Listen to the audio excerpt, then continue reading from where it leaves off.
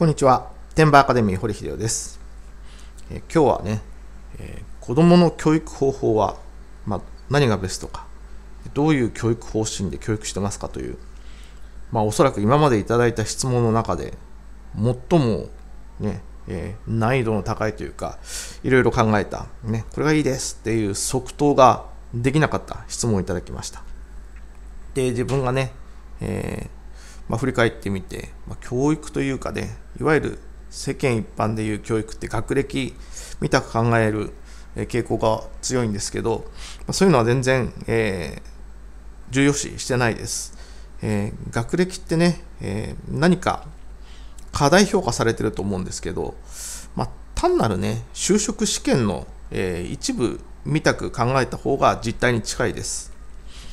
で、まあ、未来を予想できない人間がね、えー、ベストな選択をすることは無理。ね、正解はわからないです。だからせめて悔いのないように自分で選択した方がいいと。ね、なんか漫画のセリフみたいですけど、まあ、本当にそうだなと思います。えー、親の考えを押し付けたりね、えー、子供に向かない、えー、ことはやらせない方がいいと。まあ、せめてね、親から見たらどんな無謀なことをやろうと思ってもね、まあ、自分が選んだことをやらせてみるっていうのもいいんじゃないのかなというふうに思います。で、まあ、学歴、ね、え、いい会社あるいはいい勤め先に行くための学歴なんですけど、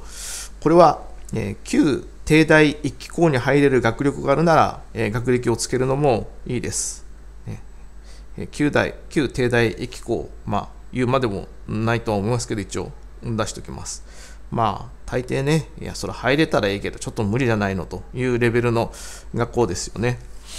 で、今まで、まあ、成長してきた時代の日本であればですね、まあ、この旧帝大1期校以下の学歴でも、まあ、私立でもね、えー、2期校でも、まあえー、それ以下の大学でも、まあ、多少の役には立ったかもしれないですけど、まあ、今はもうね、えー、この旧帝大機構が無理だというならすっぱり学歴は日本での学歴は諦めた方がいいです。で、まあ、学歴ね、えー、この旧帝大機構に、えー入ってというか卒業すると、まあ、どういう就職先が選べるかということなんですけど、まあえ、選択肢は少ないと。逆に選択肢は多いんですけど、こういう就職先に入ってね、えー、転職せずに一生勤め上げないと、この学歴をつけた意味がないと。ね、まず、まあ、国家公務員上級試験は、まあ、普通に考えて、ね、えー、旧帝大機構合格する人ならね、えー、受かりますんで、合格してね、えー、楽そうな省庁を選ぶと。ね、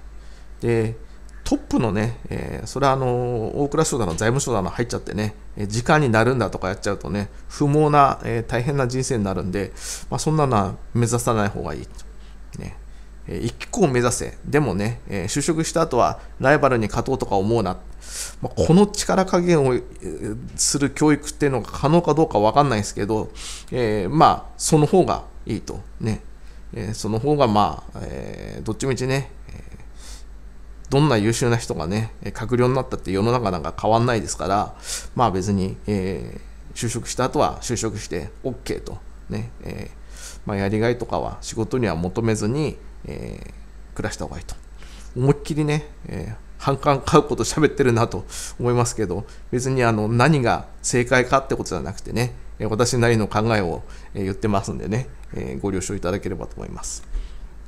で、それか民間企業はね、海外との競争のない鎖国型の財閥系トップ企業、まあ、三菱、三井、住友ぐらいまででしょうね、の、国内型、まあ、不動産とかね、えー、もう国内で完結してる企業。で、理想は、あとインフラですね、え東京電力だの、東京ガスだのね、えー、電力、ガス、えー、いいですよね。で、何はダメって、製造業はダメです。ね。東芝が、えー、ね、もう危ないとかね、シャープが買収されちゃったとか、えー、どんな大企業でも、え、どうなるか分かんないって言いますけど、どうなるか分かんなくはないですよね。今まで日本の自動車メーカーとか、日本の電機メーカーはね、え海外の、え企業との競争に勝って、え大企業になってるわけですから、まあ、逆に衰退していけばね、負けることもあると。だからね、世界規模で競争するような企業に入っちゃうと、正直、今の日本の普通に教育を受けた人は経営してたらね勝てるわけがないんで世界との競争するような企業には入らない方がいいです。またね俺が入って何とかしてやるって言ってもね一人の力でどうにもなるもんじゃないんで、まあ、せっかくの学歴を不意にしないためにも世界との競争は避けると。ね、えー、なんかすごいやらしいこと言ってる気がしますけど、まあ、それが実態ですね。で逆に旧帝大機構に入れる学力がないなら、まあ、海外の学校に行ってね英語と中国語を覚えた方がいいです。で英語と中国語ができて成長している国を渡り歩けば中途半端な実力でもやっていけます。で逆に言うとね今今後日本だけで生きていくんだって決めた場合には、まあ、相当ずば抜けた実力があるかね相当でかい体重の横に、え、沿わないとなかなか厳しいんじゃないかなというふうに思います、ね、日本は下りエスカレーターなんで一番になれる実力がないとずるずる落ちていくと、ね、で逆に世界に目を向ければ世界には上りエスカレーターの国もあります、まあ、上りエスカレーターに乗ればね何しろ別に、え座ってりゃ上に上がっていくわけですから、え大した実力がなくてもスルスルと上がっていけると、ね。え日本以外でも生きていける実力をつけるというふうに教育はね、えー、考えた方がいいんじゃないのかなというふうに思います、まあ、ちなみに我が家は11歳の娘がいます、まあ、オーストラリアで暮らしてみてね日本以外でも生きていくことが分かったようです。まあ、オーストラリア行くって言った時はね、もう嫁さんなんかどうなるんだって感じだったんですけど、まあ、なんとか生きていけるんじゃんと、ね、やっていけるんじゃんっていうのは分かったし、えー、それは良かったなと。まあ、しかしね、えー、勉強嫌いにもかかわらず、中途半端な学歴は相変わらず目指しているようです。まあ、私はね、えー、勉強好きじゃなければ、勉強好きなやつに絶対かなわないんだから、だったらね、えー、勉強しなくていいよと、好きなことやった方がいいよと言ってるんですけどね、まあ、極端すぎる私の意見はね、えー、なかなか、えー、11歳のすで、ー、に私よりはるかにバランス感覚のいい娘には、えー、パパの言う通りにしてパパのような人生を